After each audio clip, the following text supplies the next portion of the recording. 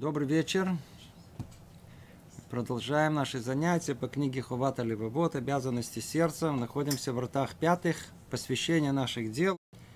Тему эту обсуждали уже на многих занятиях, и мы сейчас э, находимся в пятой главе, в пятом разделе, в котором обсуждается самым подробнейшим образом, и это источник для многих-многих-многих э, книг впоследствии, которые пришли после него – и каким образом, какая, какая сила, она препятствует человеку посвящать свои дела во имя Всевышнего. Сила это называется дурное побуждение, как оно переведено тут, или по-русски называется она э, еще по-другому э, дурное начало, звало когда-то инициатор зла. Все переводы могут подойти на иврите Ецарара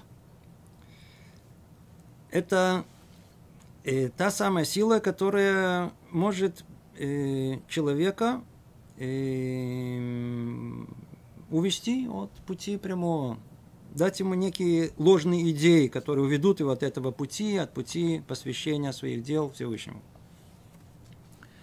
Мы с вами уже находимся на, на третьем, четвертом занятии, которое уже эта тема обсуждается.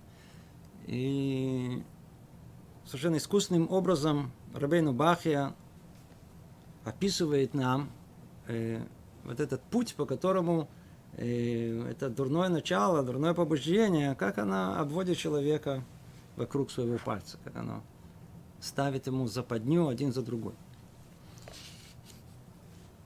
Начиная с того, что, ну, смотрите, ну, может быть, душа не остается после смерти – а может вообще нету никакой силы, которая сотворила этот мир. А если эта сила есть, так может быть их там не одна, а несколько.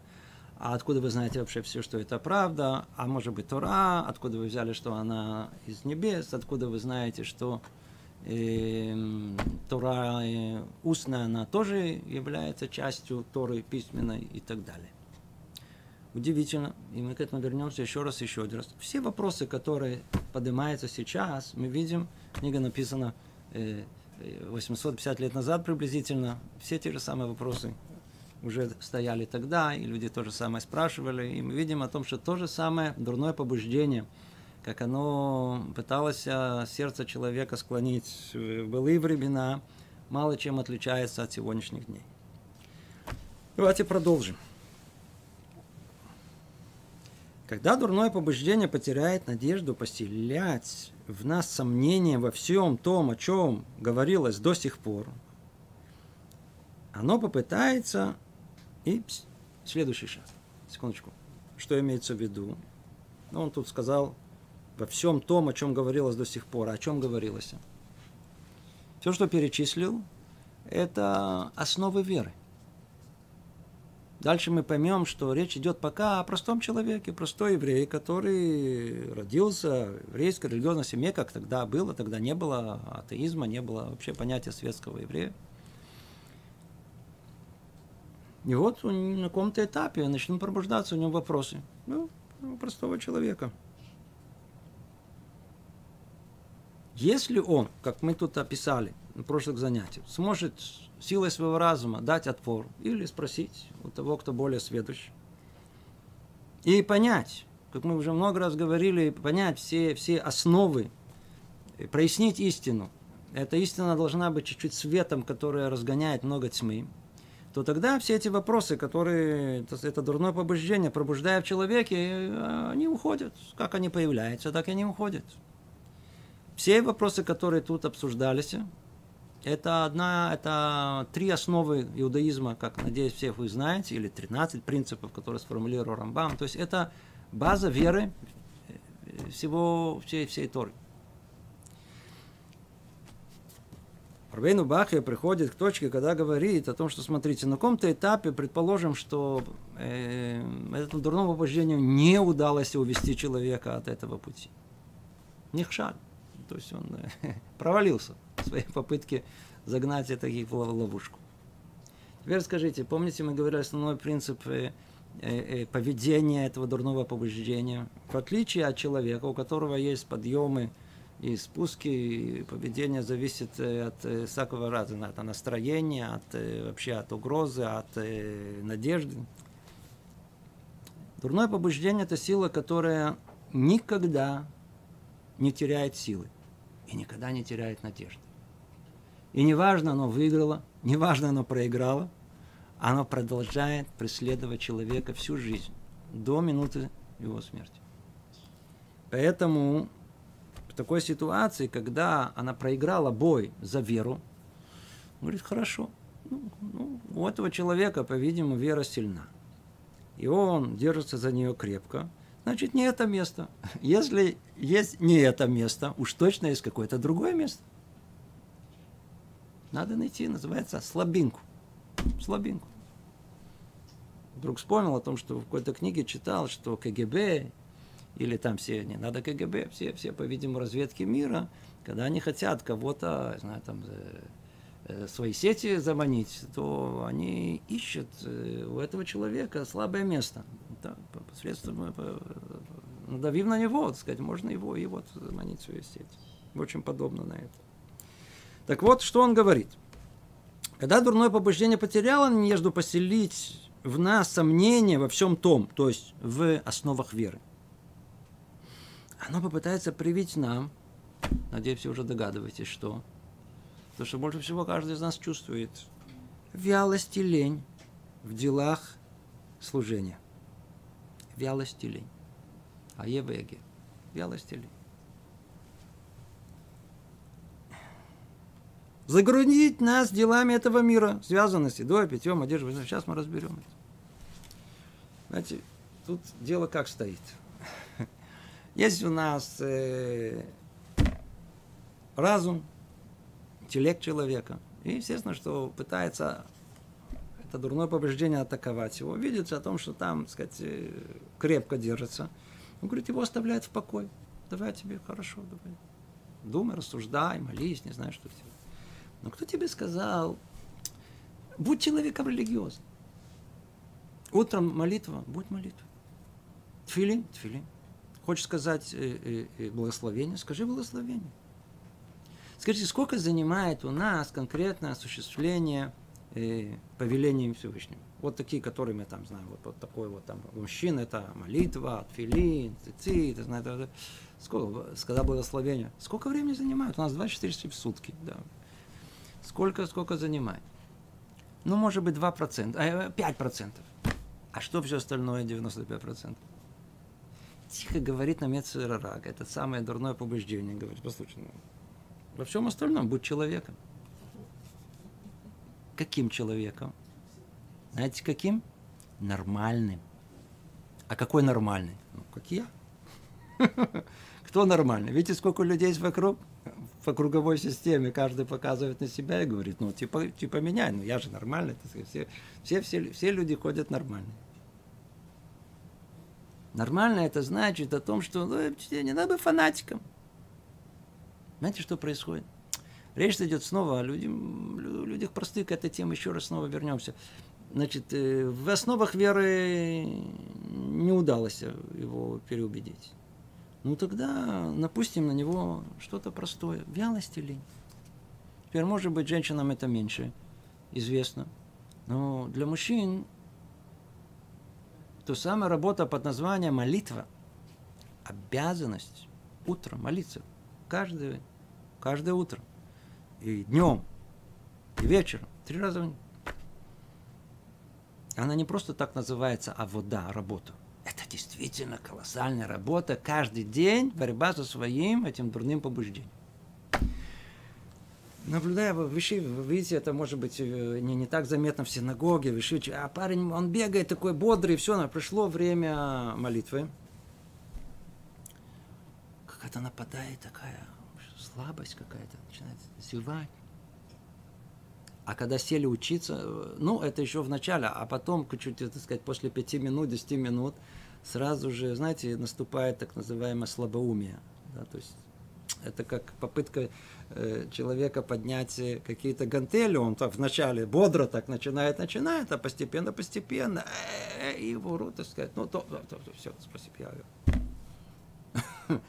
не отличается от этого усилия умственное, но точно так же человек должен принять при учебе это усилие, и он его делает, делает, делает, делает. Смотришь, начинает одевать, смотрит, смотрит уже по сторонам, смотрит уже, видите, вялость и лень в делах служения. Не надо быть фанатом. Да, будь человек. Спокойно. Полежи. Пройдет. Смотришь. Вы думаете, это все? Во-первых, чтобы вы знали, написано, вялость и лень, это как бы стоит на номер один в самом начале, потому что она корень всего. Практически все прегрешения, которые у нас есть. Когда человек падает, в какой момент жизни этого и происходит? Тогда, когда мы здоровы, бодры, когда наш разум, он крепок, и когда видит мир ясно, вокруг, ясно вокруг себя, очень тяжело, очень тяжело упасть в этот момент. А когда мы падаем? Уставшие, недовольные. И лень еще с детства не перебороли. И вообще что-то осталось такое тяжелое в э, состоянии душевном. Вот этот момент приходят и все беды. В этот момент и приходят и все слова, которые ему это дурное начало, дурное побуждение ему нашепчивают. Все, все, все, все в этом состоянии вялости и лени, оно, это, это петах, это, это открыть, а? Это врата, да, это, это, это врата к э, нарушениям всем, которые есть которые есть. Вялость и лень. Что нельзя быть вялым? Что делать с ленью? Во-первых, надо знать, что это самое большое зло для нас. Надо знать, что это опасное состояние, которое надо оберегать. Человек не может быть все время в бодром состоянии духа, да, и не все, не у всех есть такое тело, которое, ну, такое проворное, крепкое, которое, ну, есть люди, которые ленятся. Но хотя бы знать, что когда мы полностью отдаем себя этому состоянию, это может нам прямо на месте привести к чему-то очень такому, чему мы потом будем очень сожалеть. Вялость и лень, это надо помнить, это наш враг вялость и лень. Почему? Потому что он не всегда результат естественного состояния нашего тела. Обратите внимание, что э, то же самое состояние, когда у нас иногда вялость и лень, как только нам это э, дурное побуждение подбросит что-то более пикантное, смотришь, оно пропадает в одну секунду.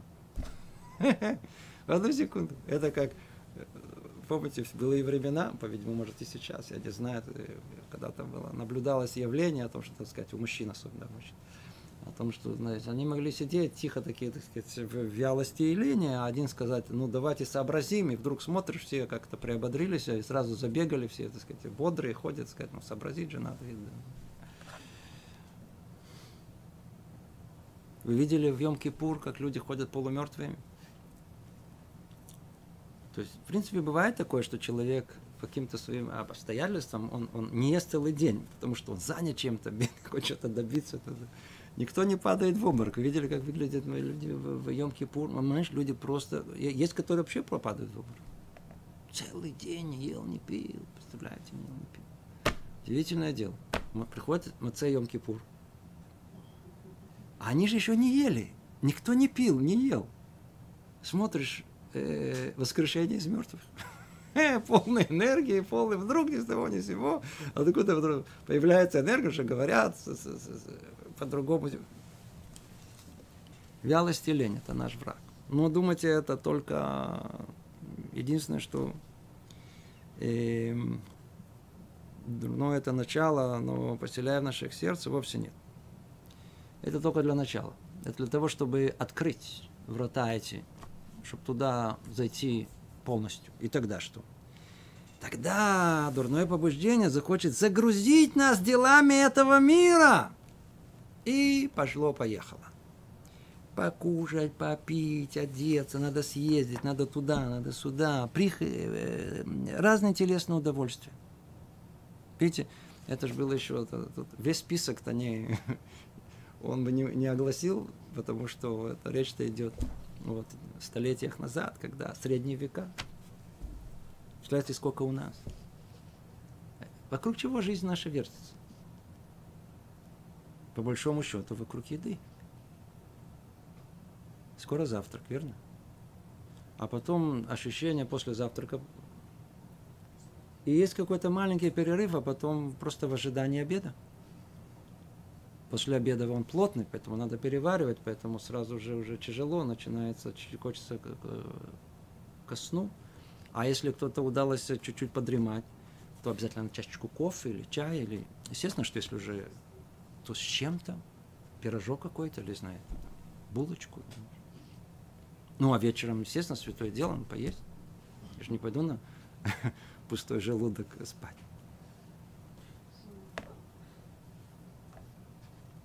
Человек хочет знать о своем состоянии духа, где он находится. Надо прикинуть, что нас радует. Что, что меня обрадует? Вот мысль о том, что скоро обед, мысль о том, что скоро я знаю, открою Рамбома, я там прочту что-то. Что, что меня будет радовать? Еда, питье,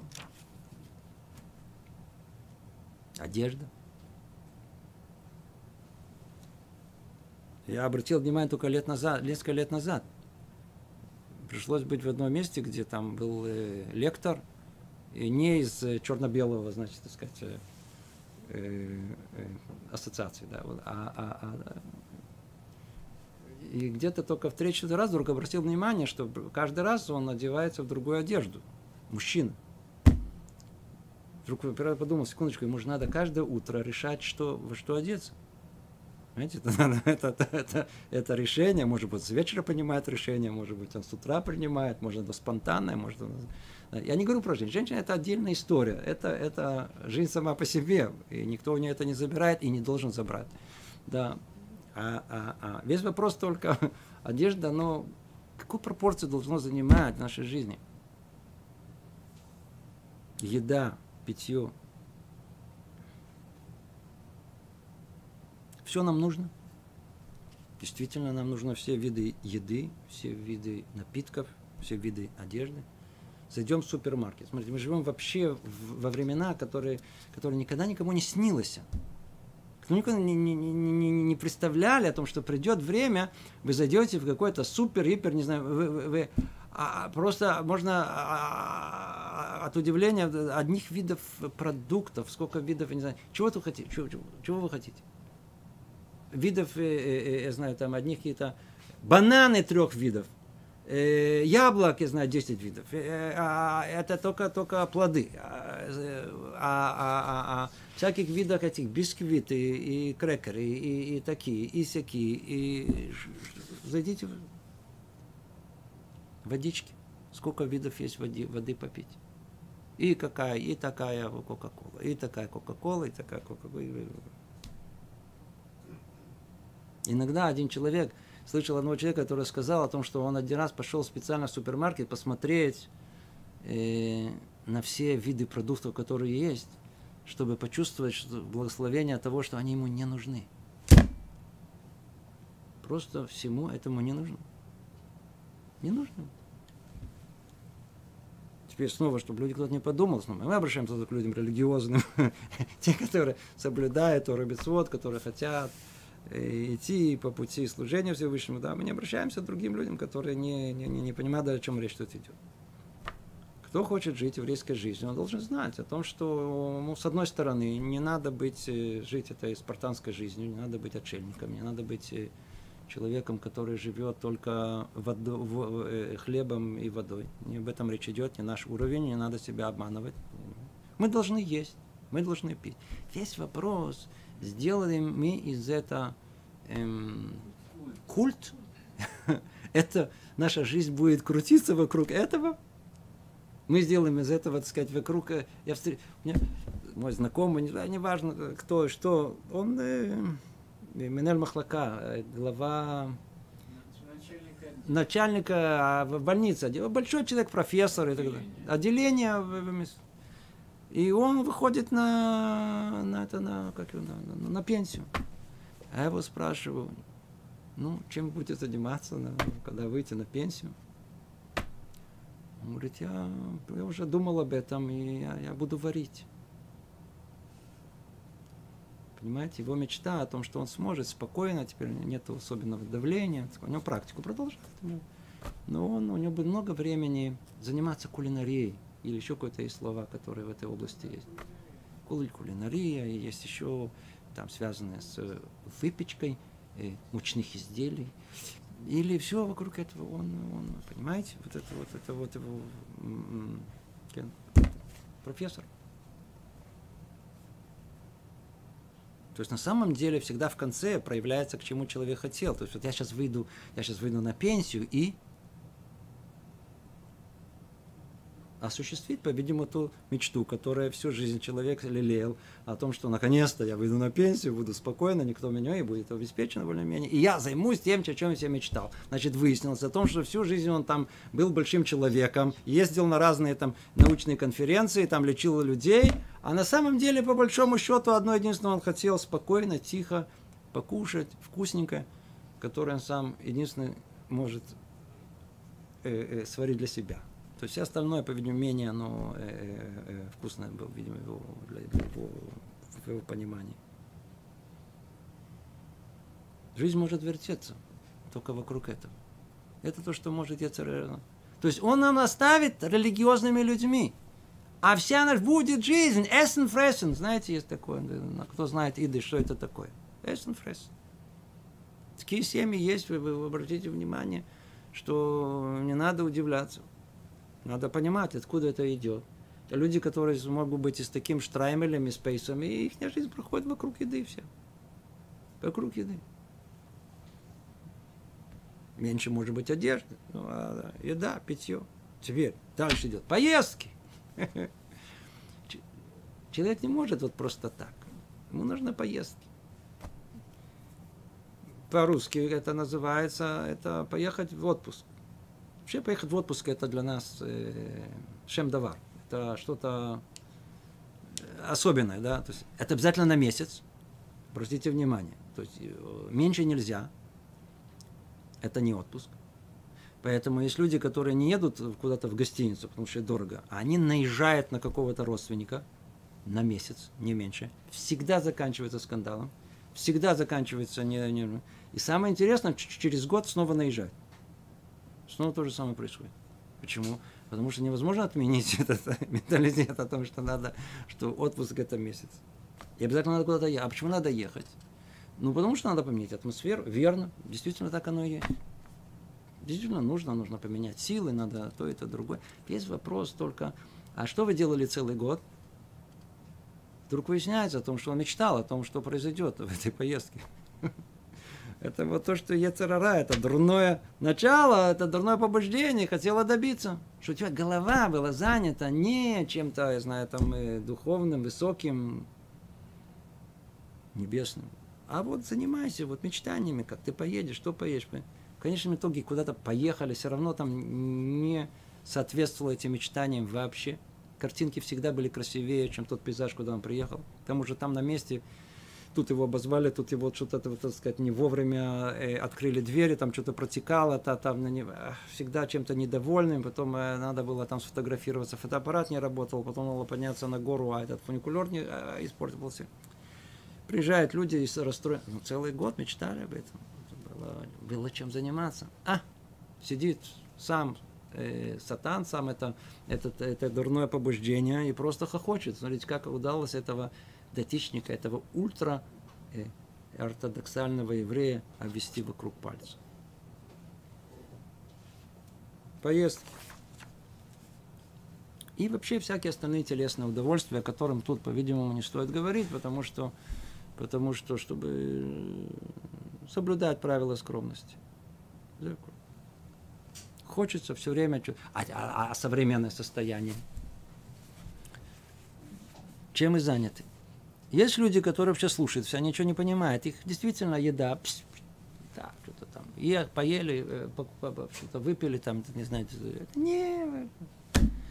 Ну, значит, если не еда, значит, точно что-то другое. Поймите, снова, дурное побуждение никогда не оставит человека. Она его так, смотришь, он один ест, спокойный, этот готовенький, этот пьет тоже, этот куда, поездки, молодец, сиди, мечтай. Даже вот даже оставляет, он сам, видишь, сам прикончен. А есть люди, которые и не то, не это. Ну, значит, если не то, не это, значит, что-то другое.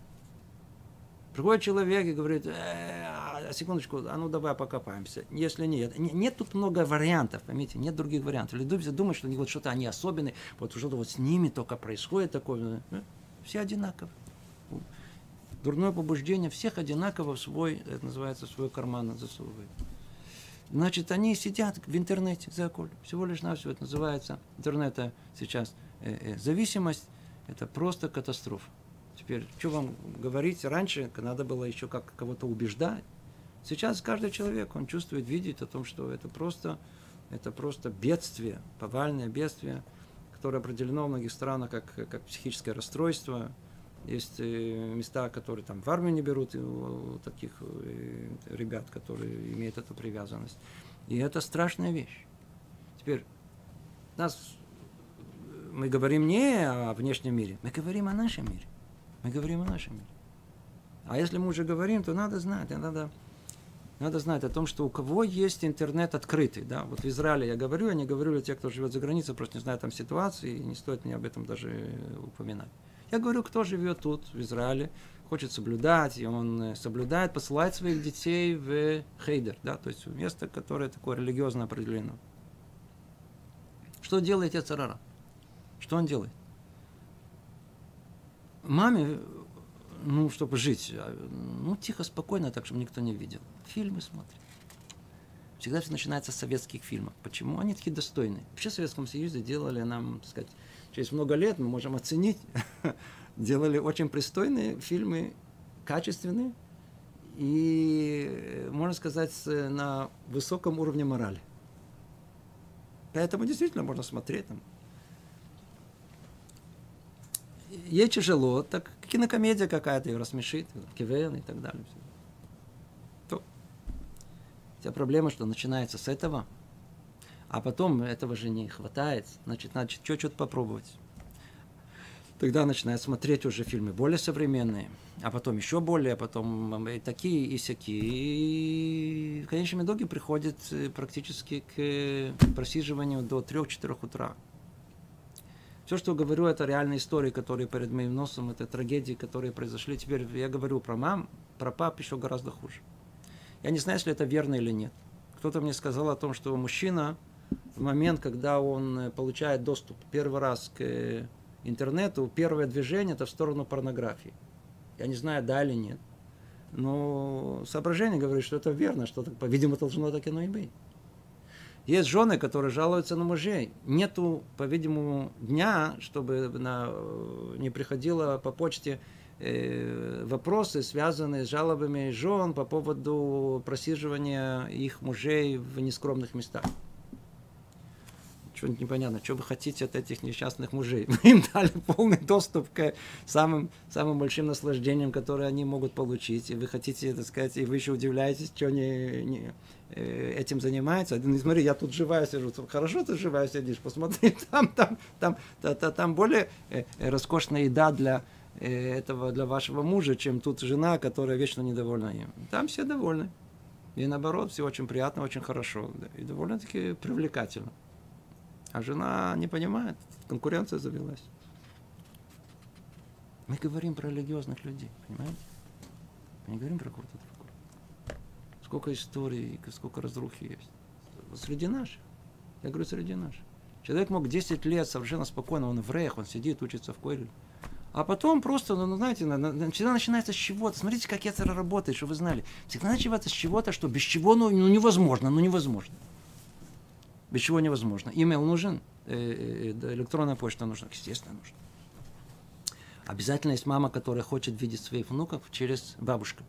нужен скайп. Теперь, если нужен скайп, значит, по-видимому, надо на интернет. Но если уже есть интернет, то иногда нужно туда проверить. Действительно, интернет приносит огромнейшую пользу.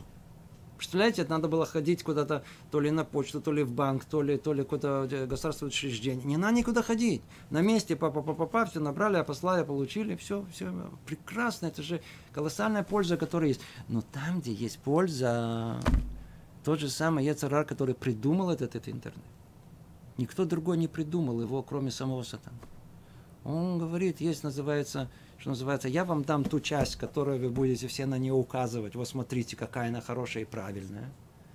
А я к вам прилеплю к этим уже такую добавочку, что вы туда все ее приклеитесь к ней, и там и утонете. Он точно знает, что делать. Вначале это же было, это открытие интернета, это было как, как, как когда его только запустили, а только в военных целях это вначале было, а потом среди э, э, в, в университетах как сеть, которая должна была давать информационный э, материал, доступ к информации свободной. Это было что-то, это была революция. Но очень быстро туда добавили физиономии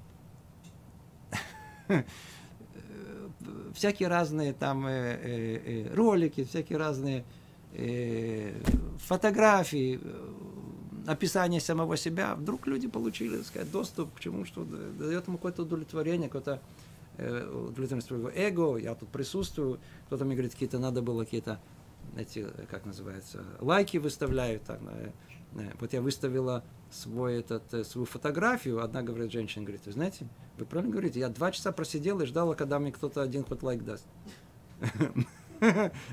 Я пришлось, пришлось э, э, э, выпить, и говорит, она признала, говорит, пришлось выпить, чтобы, чтобы, чтобы, чтобы, унять себя, немного выпила, говорит, 50 грамм, чтобы унять свою душу, чтобы, потому что сразу не получили. На следующий день кто-то дал лайк, успокоился.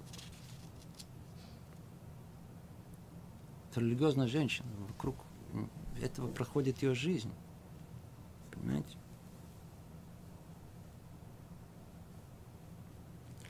Сквозь интернет у него нет, не может быть э, ират шамаем, богобоязненность. Это две вещи, которые противоречат друг другу. Не может быть. Естественно, что э, речь не идет. Кто употребляет это только по назначению.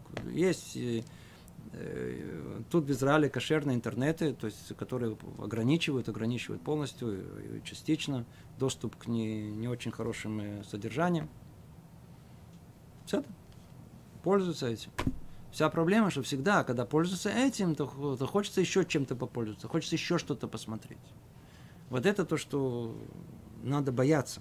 Это надо знать, это постерегает нас, это неизбежно постерегает нас. Всегда начнется с чего-то, что не обязательно нужно – и обратите внимание, всегда через какое-то время вы увидите себя, что вы поглядываете уже что-то в другом, вообще первоначальным этим целям вообще не, не, не, не соответствующим, вообще не связанным. Вот оно. Вот оно. Есть люди, которые просиживают чуть ли не целый день. Раньше там интересовалась политика, а сейчас вообще даже люди переставали какие-то даже интеллектуальные темы, только мало людей интересуют. Люди просто что-то смотрят, какие-то картинки, какие-то ролики без, бесконечные, которые вот это интересно, вот это просто смотреть, вот это посмотрела. И главное, чтобы не было, как вообще понятие, тол, здесь толстые книги, их вообще перестали читать. Сейчас, по-видимому, даже, даже тонких не читают. А сейчас уже даже длинные фильмы не смотрят, это уже не могут выдержать, потому что Ецара что хочет? Ецар по своей причине, по своей природе, да, это мы касались этого, он по своей, он как, как, как э, фантазия, как э, э, мысль воображения, она хочет скакать одной темы на другой. Разум по своей природе, он способен упереться в одну точку и не сдвинуться с нее час, два, три. Полная, э, полная концентрация. Это сила разума. В отличие от этого, сила воображения не способна сконцентрироваться на одной точке. Она по своей природе, она хочет сказать, посмотрел дальше, а это, а это, а это, это. Согласно этому, э, понимаю, психологи хорошо понимают. Они дают рекомендации э, людям рекламы. Вся реклама построена, обращается к этому воображению человека, а не к его разуму. Там и находится, в этом воображении, мелькающем от картинки к картинке, от ролика к ролику, от вообще каких-то каких сетей, а про сети вообще не говорили. Сети, даже не, не стесняются так и назвать. Попал в сети, сижу в сетях, в сетях, понимаете? Переписываться с кем-то. Совершенно бесполезные какие-то разговоры, переписки. Он мне написал так, а выставил картинку так, и смотрела так. И это заполняет душу. И люди смотрят, они не могут оторваться от этого. С кипой. Спейсом.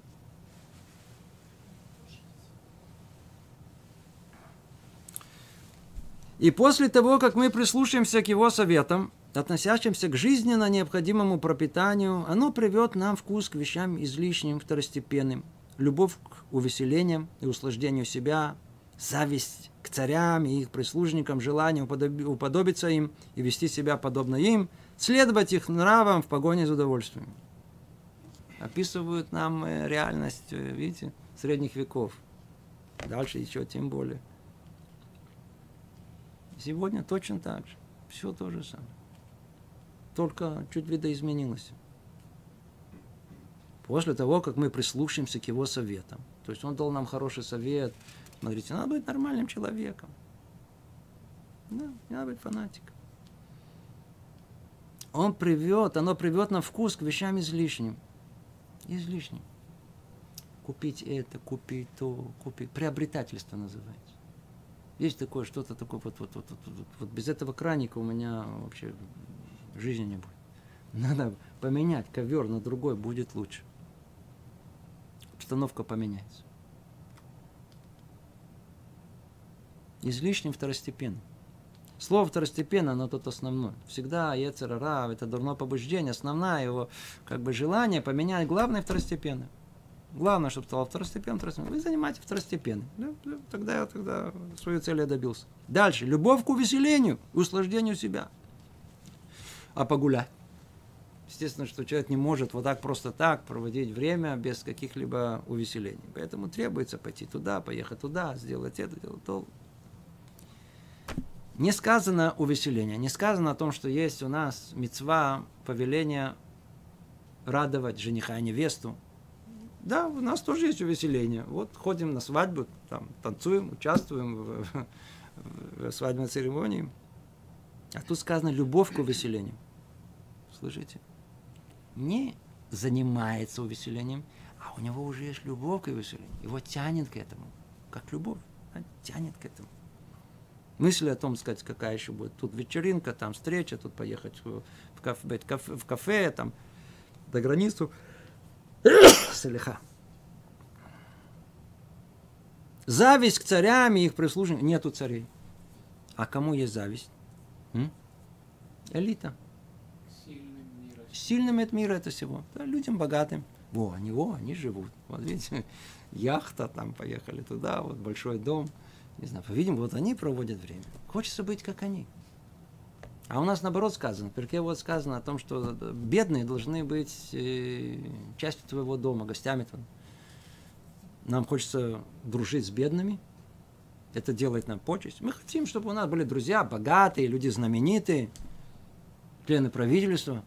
Люди хотят хвастаться чем-то таким, да, какое-то имя знаменитое сказал, да мы с ним, знаете, кореш, да, друзья. Вы же не будете какой-то, я знаю, там, Мойша, который никто не знает, и вы гордитесь им. Бедный, несчастный, который ходит там, собирает Все наоборот. Зависть к этой элите, к этой богеме. Слово на иврите не слышится богема хорошо, верно? Есть такая ассоциация слова богема. Желание уподобиться им, вести себя подобно им, следовать их нравам в погоне за удовольствиями. А,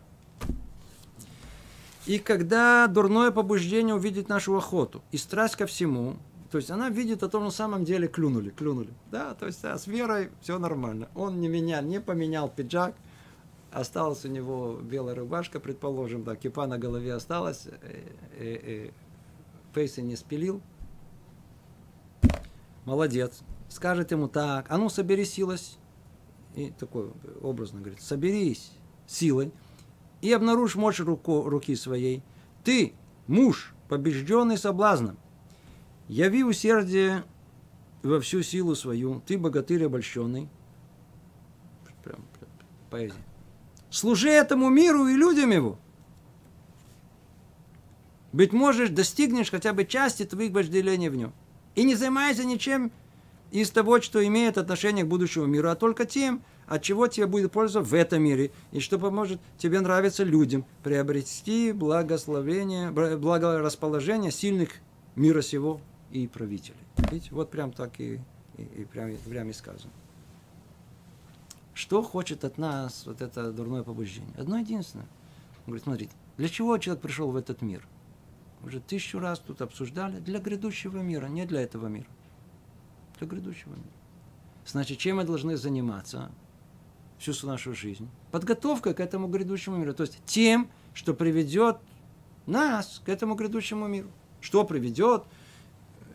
Добрые дела, учеба, соблюдение э, э, повелений. То приходит Яцерара и говорит, смотри, большие Талмит Хахам ты не будешь. Раби Акива ты точно не будешь. И Хазониш не будешь, и не будешь. Э, не, э, ну, что-то Успокойся. Большим праведникам, ну, тоже, по-видимому, так сказать, смотри, сколько, посмотри, ну, ну, ну, смотри, почитай, почитай, кто были праведники и кто ты. Ну, то хотя бы добейся чего-то в этом мире.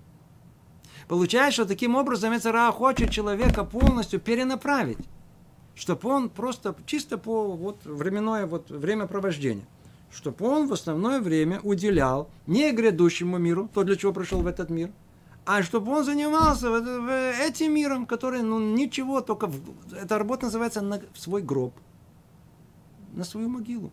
Потому что все, что человек делает в удовольствие своего тела или просто для своего развлечения, да, да, да, даже в могилу не уходит. Это в пустое место пустое место. Для чего? Это просто, чтобы вот это семинутное получить какое-то удовлетворение своих этих э, слепых сил, начала этого э, дурного. И все. А что дальше? Какое последствие этого? Только еще хуже. Хочется еще больше. То есть полностью увести человека от этого пути. Не заниматься ничем. Только этим миром. Только этим миром. Ешь, пей, наслаждайся, смотри, э, мир полон наслаждений. Не надо отчуждаться от них, говорит он Ицерар.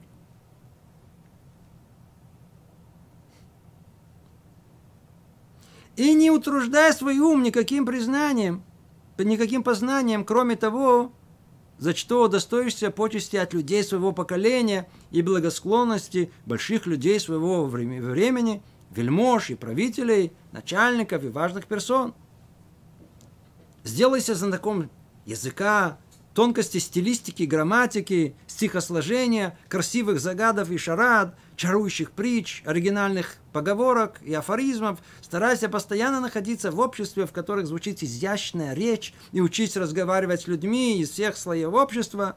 И не молчить, чтобы не прослыть невеждой глупцом. И оставь все прочие премудрости, ибо труды в них велики, а польза мала. Вай, вай, вай, вай. Смотрите, что он описывает, смотрите, какой уровень был тогда и куда мы дошли сегодня. А? То же самое, я не знаю, молодое поколение о том э, заниматься, сделаться знатоком языка, тонкости стилистики, грамматики, стихосложения, красивых загадок, чарующих притч, оригинальных э, афоризмов. Где вы такое сейчас встретили? Нахон, верно, народ стал писать. Раньше были читатели, а сейчас все стали писатели. Это верно. Это мнение свое, так сказать, люди все высказывают. Но отсюда и до, и до, и до, и до знатоков языка, и тонкости стиля, и притчи, и оригинальные афоризмы, и изящная речь. И... Далеко, очень далеко. И тем не менее, смотрите, как тогда, почему он это говорит? Потому что том обществе, в средние века. То есть вначале он говорил для людям, которые по-простому. Такая называется такая не, не, рабоче-крестьянская прослойка. То есть для них по-простому. Покушал, поел, развлекся, развлечения для тела, все телесные удовольствия, и все, больше особенно. И пошел на Марив. Нормально. Но есть люди с более тонкой душой. Всегда есть люди более грубые, а есть более тонкие. Теперь для тонкой души его не заманишь какой-то, я знаю, так сказать, э, э, каким-то пирожком или какой-то кока-колой. или картинкой какой-то девушки. Седер, он как-то еще переборет себя. Его он стоит как-то более на высоком духовном уровне. Тогда к нему подойдет это дурное побуждение с другой стороны. И она ему скажет, смотри, не занимайся содержанием, занимайся формой. Знаете разницу между формой и содержанием? Это, это, э, э, никогда не забуду, уже проводил пример неоднократно, это просто было перед моими глазами. Приехал однажды навестить один, навестить, один человек, редкий, какой-то профессор из Хайского техниона. И он решил посмотреть, знаете, иногда ездят э, на экскурсию антропологическую куда-то на, в Китай, я знаю, там была, не знаю, Индию, особенно любит. А есть, которые решат просто приехать в Иерусалим, посмотреть, не надо далеко ехать. Мы тут вообще как отдельное племя живем. И, так он хотел посмотреть, как изнутри эта жизнь религиозно выглядит. Отдел Кипу очень уважительно вел. Он попросил меня, чтобы я повел его в синагогу, чтобы посмотреть изнутри, как это выглядит. Пришел туда. Да он такой очень такой общительный человек. Он начал говорить там со всеми. То есть, кого он, кстати. И перед, перед началом это было Минха в субботу, и перед началом, значит, мы пришли где-то за три минуты, и он, так сказать, подошел, посмотрел полку книг, так сказать, да, смотрит на книги, ни одна из них не знакома ему, взял, взял эту книгу, так сказать, полистал, а дети там стояли, дети 11-12 лет. А он говорит, иди сюда. Спросите, кто это написал? Говорит, Раши. Говорит, а когда он родился?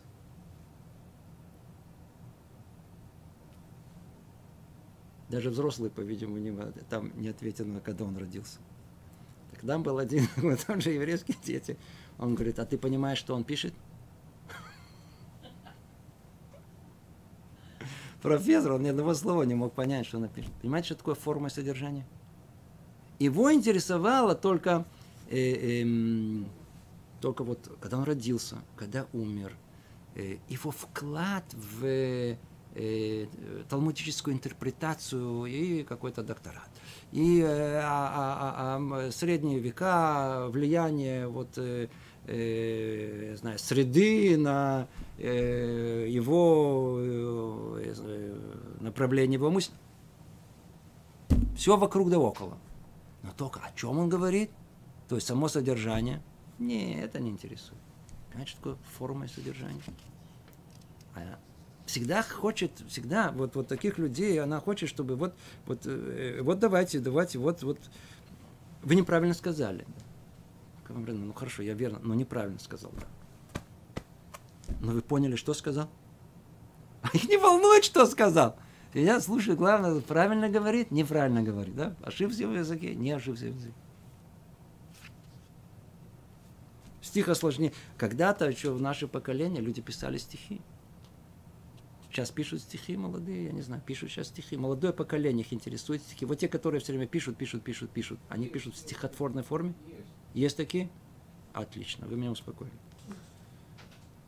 А красивые загадки, шарады, чарующие притчи, кто пишет притчи?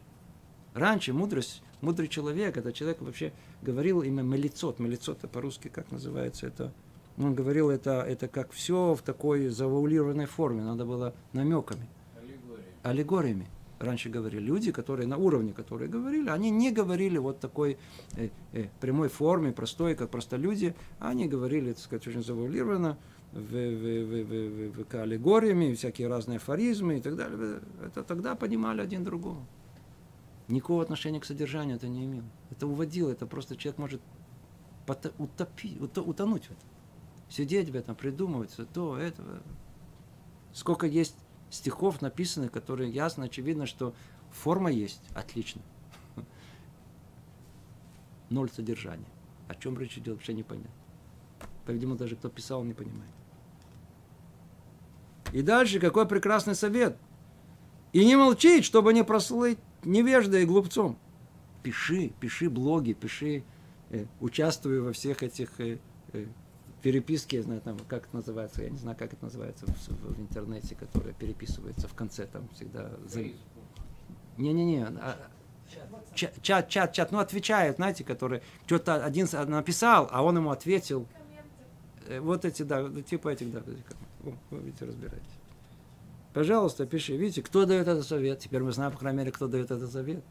Какая сила толкает этого человека сидеть, сидеть целыми днями, тот прочел. Нет, я ему сейчас отвечу. Он мне ответил. Так, так, так. Я ему тоже ответил. Что тебе толкает? Кто тебе толкает? Видите, вот какая сила толкает. Почему? Чтобы не прослыть невеждой глупцом, что тебя знают. А, Надо быть человеком образованным, надо, видите, то, чтобы это не разбираться в этом, разбираться в том, сидеть. И, я знаю, мне рассказали про одного парня, парня религиозного, который никогда ни в чего вообще никуда не смотрел, никуда не смотрел. И дорвался до интернета, представляете? Вы думаете на что-то плохое? Вообще нет. Он говорит, целый день он читает это, Википедия есть такое – он целый день, так сказать, у него не было, он вот всю свою еврейскую голову, совсем сказать, он, он, он, он читает Википедию. Википедия Что же делать? Дает он сразу совет. Но если ты с самого начала не приоткроешь дверь для вожделения, то есть не будешь приучать себя к излишествам и к вагоне за ним, и ответишь своему э, злому побуждению, что в них нет нужды, и довольно э, с нас тех трудов и волнений, которые мы несем, э, добывая жизненно необходимые нам. А если Бог пошлет нам что-то сверх необходимое без сердечных забот и умственных усилий с нашей стороны, то мы используем это достойным образом, согласно велению законов Торы. А если же не пошлет, удовольствуемся необходимыми и ничем сверх этого – то злое побуждение будет сокрушено и побеждено. О, теперь давайте, он тут же дает нам ясную рекомендацию, как это уберечься от этого. Надо знать так. Если мы попали в сети к этому начальнику, к этому генеральному соблазнителю под названием дурное побуждение, яцерара, у нас практически нет шанса выйти оттуда. Нет шансов. Единственная возможность – это приучить себя заранее, тогда, когда человек не стоит перед соблазном, изучая подобные книги, изучая этику, зар, тогда, когда разум силен, тогда, когда ничего не воздействует, когда сытый, ничего тебя не отвлекает, подготовить себя к этому моменту, когда придет следующая атака. А она сто процентов придет. И сказать себе по-простому, заранее – о том, что я э, не подамся на этот соблазн. А единственная возможность не податься на эти соблазны, это изначально не допустить, не впустить свое сердце в это. Рассказывают практически про всех Долейдор, всех великих, я знаю, раввинов этого времени. Они ели, они, они намечали себе, знаете, как заранее, они знали, сколько они должны съесть, например, кусок – кусочек хлеба, ну, столько, сколько нужно для благословения, э, пруса. Пруса это, это ломоть или полторы, или два, в зависимости от того, сколько надо. И не больше, все остальное не стояло даже. Только та порция, которая изначально намечена, ни никогда не больше, не меньше. Вот такое, это необходимое для этого, это необходимое, то, что ели. Это все, что Это заранее не попали. Одежда. Ну, какая разница мне белая рубашка, такая поехать, если есть необходимость, надо ехать. Нет, нет. Обеспеченность пошлет меня Бог хорошо, не пошлет тоже хорошо.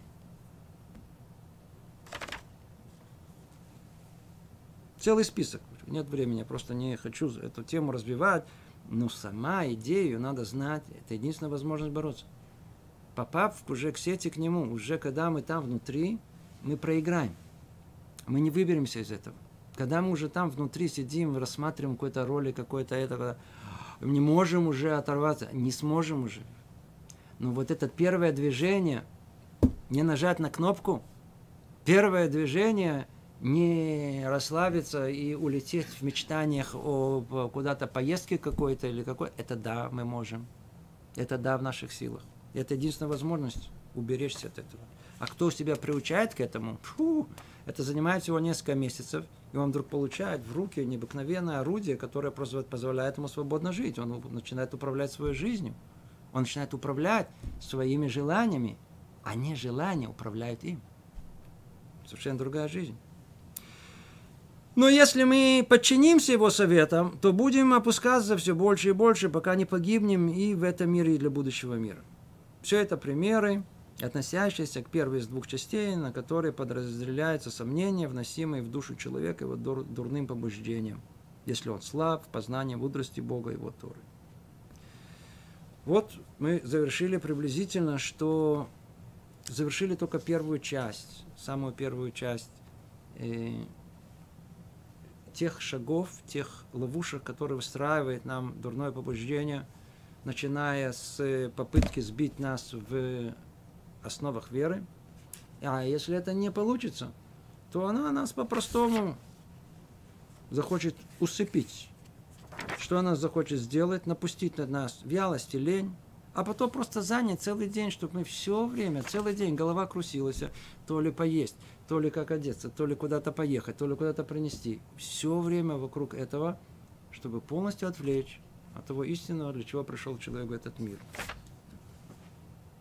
Надо это знать, оберегаться этого. Единственный путь уйти от этого – это заранее не допустить, заранее себя подготовить к этому бою.